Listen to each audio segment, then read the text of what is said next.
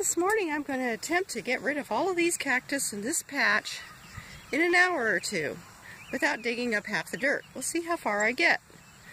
And I'm only going to be using these tools, this one here and this one over here. Alright, I'm going to go. It is now 7.16 a.m.